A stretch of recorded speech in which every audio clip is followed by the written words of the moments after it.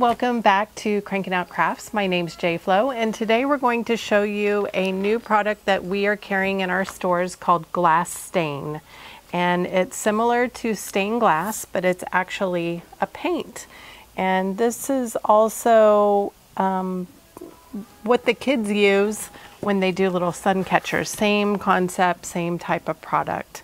So to get started, we will take the black leading is what we're going to start off with when we do the lines on one of these. Oh, but first let me tell you about what you'll put it on. We have these clear acetate sheets and I don't know if that's showing up on camera very well, but it's very thin.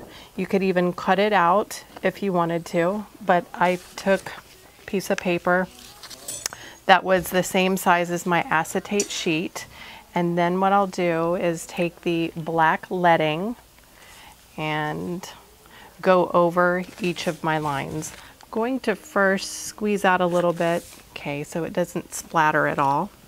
And I will go over all of these lines here.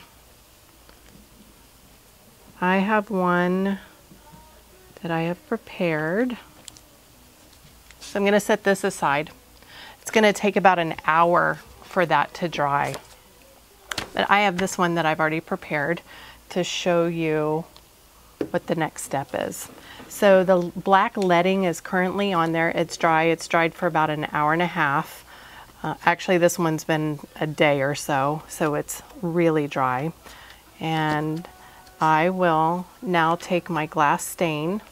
And when you first open these two, there's going to be a piece of paper on here to protect it from coming out. You'll need to peel that off. Okay. Then you simply just use the top here to push the color around. Now currently, I've used this one several times. I'm squeezing and nothing is coming out. So I'm going to take a T-pen or maybe a toothpick, but some sort of pointy, sharp object to clear out that valve. It just gets stuck a little bit, but that's fine.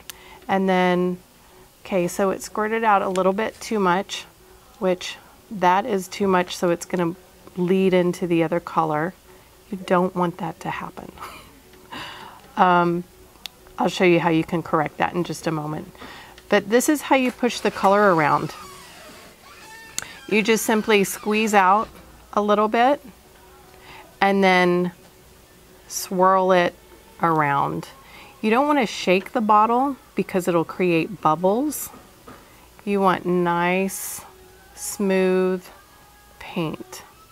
And it's self-leveling, so it just kind of levels out. Okay, now if you can see that little bubble right there, I'm going to poke it and try and get it out. There we go. So that came out. Now this right here, where it's gone over the edge, you can, one, wait till it's dry.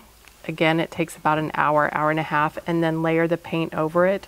Or if you go ahead and put your next color on, I'll show you what happens. Cleaned out that valve. The colors are going to bleed together kind of merge together a little bit. Now, when two colors match, you can't blend them really together to get another color. Um, let's say, for example, red and yellow don't always make an orange when you do this. They don't blend very well together. Actually, that's a nice color though. um, but this is a technique that you could do. You can take your stylus or pen or needle and you could do like little burst and pull the color through. That's one way. So you can fill the entire piece up. This one feels like there's a little bit clogged in there. Just clear that out again and squeeze. So you can continue doing this for all the color, each one different color. And let me show you some of these finished samples that we have here. So this is a palm tree.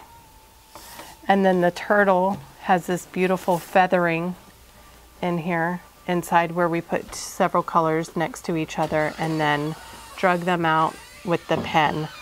You can also do it on glass vases and I do recommend that you do a vase that is flat. Flat vases work much better than rounded because the color will tend to go around. So you want to do it on flat surfaces. So here's another one that we've done. So we hope you enjoy this fun project and new stained glass product.